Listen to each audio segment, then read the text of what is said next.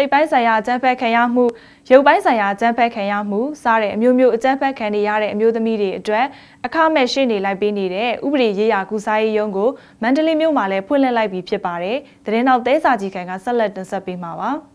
။ငွေကြေးမတက်နိုင်တဲ့အမျိုးသမီးတွေကိုအခမဲ့ကူညီနိုင်ဖို့အတွက် Legal Clinic မြန်မာလို့ခေါ်တဲ့ဥပဒေရေးရာကုစားရေးအဖွဲ့မြန်မာရုံးခွဲကိုမန္တလေးမြို့မှာဖွင့်လှစ်ထားတယ်လို့သိရပါဗျ။အောင်မြေသာဆန်မြို့နယ်62လမ်းနဲ့63လမ်းကြား 15လက်နဲ့16လမ်းကြားနန်းရှိမြနနာလမ်းသွင်းမှာဖွင့်လှစ်ထားတာပါ။ဒီလိုဥပဒေရေးရာကုစားရေးယုံဖွင့်လှစ်ရတာနဲ့ပတ်သက်ပြီးတာဝန်ရှိသူတူကအခုလိုရှင်းပြထားပါဗျ။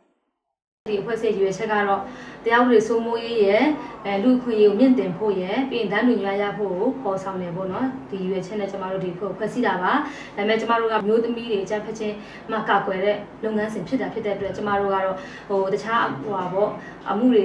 လာပြီးဆွေးနွေးရဥပဒေပတ်သက်ပြီးအကုန်လာဆွေးနွေးကြအကြံဉာဏ်တော့ပေးတယ်ဒါပေမဲ့ကျမတို့ကတော့အဓိကတော့အခမဲ့လိုက်ပါဆောင်ရတဲ့လုပ်တာကတော့ဒီအမျိုးသမီးလုပ်ငန်းကိုကျမလုပ်ဆောင်ပါတယ်လို့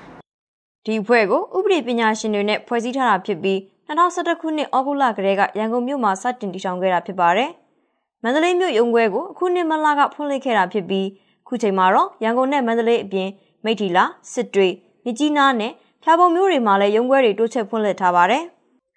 ဒါပေမဲ့မန္တလေးမြို့မှာတော့စိတ်ပိုင်းဆိုင်ရာရုပ်ပိုင်းဆိုင်ရာအကြမ်းဖက်ခံရတဲ့အမျိုးသမီးတွေကိုအခမဲ့ရှင်းနေလိုက်ပေးနေတဲ့အကြောင်းသိရှိသူနေပါနေတယ်လို့ဖွဲ့တော်ဝင်ခံကအခုလိုသုံးသပ်ပြထားပါတယ်ဒီမန်လေးတစ်ခုလုံးတိုင်းတာနဲ့ဆိုရင်မောက်စီတက်တဲ့အမှုကနည်းတယ်လို့ပြောလို့ရမှာပေါ့ညီမရေနော်ဒါညရမဟုတ်ဘောင်းဆိုဖြစ်ပြနေရတဲ့အများကြီးညီမလေးဖြစ်ပြနေရအများကြီးပေါ့မှာတချို့ကတကယ်ကိုယ်မခံမရနိုင်ဖြစ်လို့လာတိုင်လို့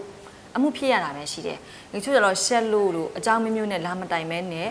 ဒီပြီးသွားတဲ့ကိစ္စတွေပြီးရင်ပေါ့နော်ဒီငွေနဲ့တအားရှင်းလို့ပြီးသွားတဲ့ကိစ္စမျိုးတွေဆိုတော့အမတို့ဒီဒီရုံးမှာရောက်မလာဘူးအမတို့ဒီဥတွေကူစားရုံးရင်းနဲ့ဒီမန်လေးမှာဖွင့်လက်တယ်ဆိုတာကမတည်သေးတဲ့သူတွေပေါ့နော်အများအများလို့လည်းဖြစ်မယ်ပေါ့မန္တလေးတိုင်းအတွင်းနေထိုင်သူအမျိုးသမီးတူဦးကတော့ခုလိုအခမဲ့စ조사ပေးတဲ့အဖွဲ့ရှိနေတာကိုမသိပေမဲ့အမျိုးသမီးတွေမနစ်နာအောင်ကူညီပေးတဲ့အဖွဲ့မျိုးရှိတဲ့ကြောင်းသူ့အမြင်ကိုခုလိုပြောပြပါဗျ။ ကလေးတွေရဲ့နင်းနာမှုမရှိအောင်လို့လိုက်ပေးတဲ့အဖွဲတစ်ခုပေါ်လာပြီဆိုရင်တော့အမားတို့ဘက်က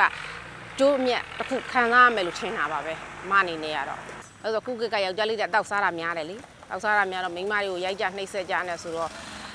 မိန်းကလေးတွေဘက်ကအနာဘက်ကကြည့်ပဲဘက်ဘက်ကတွေးတွေးအဲ့ဘက်ကဘဲရပဲတိုင်းတိုင်းတိုင်းလို့မရတာများတဲ့အတွက်အမတော့မိန်းကလေးတွေဘက်ကအခုလိုမျိုးဥဆောင်ပြီးတော့ဖွဲ့ပေးမယ်အဖွဲ့စည်းပေါ်လာတာပို့ပြီးတော့စိတ်ချမ်းသာတယ်အမအနေနဲ့ကတော့ မန္တလေးမြို့ကဥပဒေရေးရာကုစားရေးရုံးအနေနဲ့အခုလက်ရှိအချိန်မှာကာမလိမ်လည်မှုမရိမှုဖျောင်းသွေးဆောင်မှုစတဲ့တိုင်ကြားမှု၁၀ခုကိုလိုက်ပါဆောင်ရွက်နေပြီဖြစ်ပါတယ်။ဒါအပြင်ဥပဒေနဲ့ပတ်သက်တဲ့အသိမြင်ဖွင့်တင်နန်းတွေကိုလည်းတမျိုးနယ်လူဦးရေ200နှုန်းနဲ့ပြုလုပ်ပေးနေတာဖြစ်တယ်လို့သိရပါတယ်။အမျိုးသမီးကြက်ဖက်ခံရမှုနဲ့ပတ်သက်ပြီးစုံစမ်းမေးမြန်းခြင်းသူတွေအနေနဲ့လည်းအရေးပေါ်ဖုန်းနံပါတ်39ကို333 9693နဲ့39ကို333 9694တို့ကိုဆက်သွယ်နိုင်ပါတယ်ရှင်။